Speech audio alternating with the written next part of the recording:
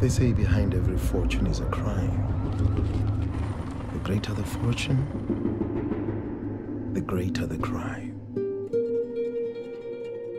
The inhabitants of Hillbrow call you the African Robin Hood. I'm just in the business of making a better life for all. Then how did you acquire your alias, the Hoodlum of Hillbrow? 1994. Freedom. The new South Africa.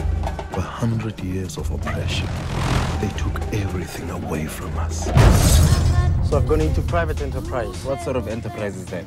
We're in the procurement industry. At the time, I was just a boy. But I had dreams.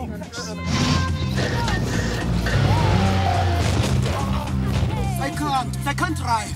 Big dreams. And What about varsity? I guess I'll attend the University of Life. To take it all Tell me, what do you do for a living, Mr. Kunene? I drive a taxi. You do all your passengers pay with 100 Rand notes? People need transport. Profits are running in excess of a million rand a month. If you're going to steal, steal big and hope like hell you get away with it.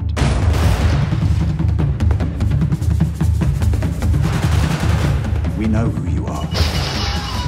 We know what you do. Your days are numbered.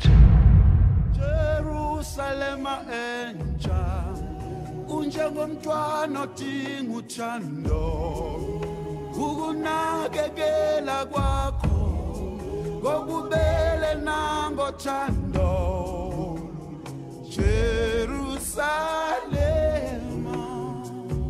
I looked around and what I saw was an empire waiting to happen.